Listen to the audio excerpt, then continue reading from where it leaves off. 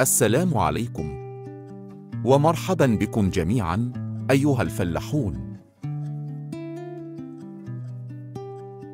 قبل أن نبدأ أرغب في أن تشاهدوا معي صور الشمندر التي تظهر على الشاشة.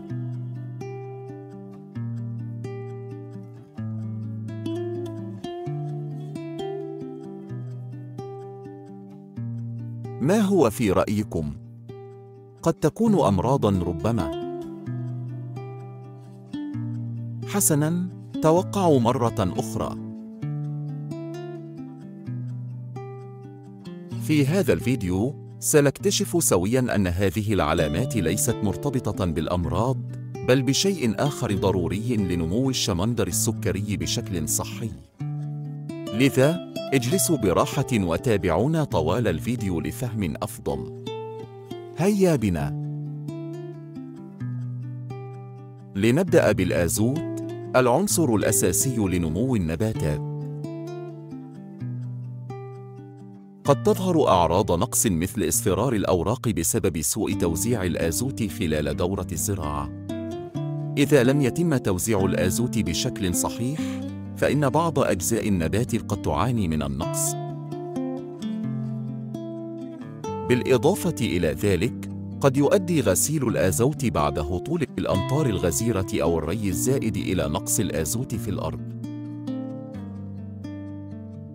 لتجاوز هذه المشكلات، يفضل توزيع الآزوت بشكل متوازن ومراقبة الظروف الجوية بعناية لضبط الكميات المستخدمة. لنتحدث الآن عن الفوسفور الذي يعد أساسياً لتطوير الجذور. من المهم عدم الخلط بين نقص الفوسفور والأمراض مثل مرض الحراقية الذي يسبب أيضاً تباطؤ النمو وتحول الأوراق إلى اللون الأرجواني.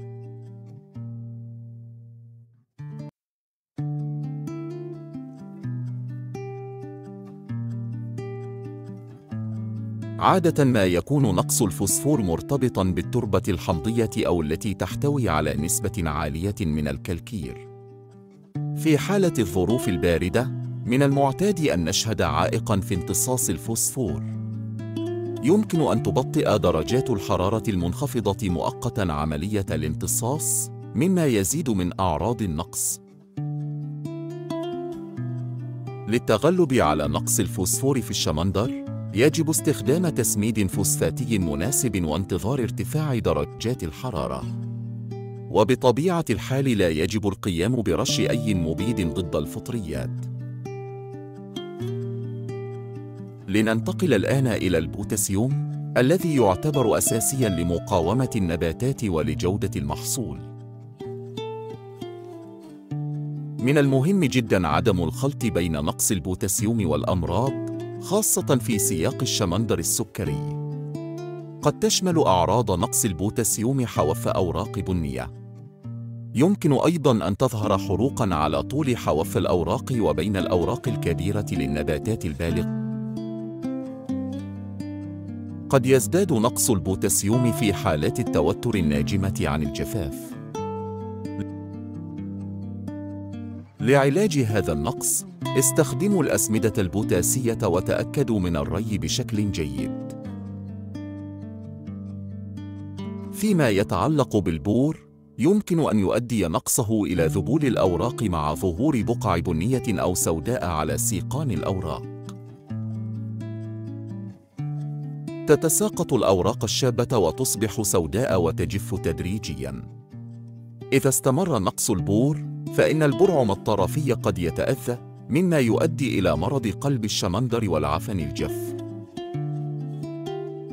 من بين أهم الأسباب التي تؤدي إلى نقص البور في الشمندر السكري تواجد الكلكير في التربة وقلة الأمطار.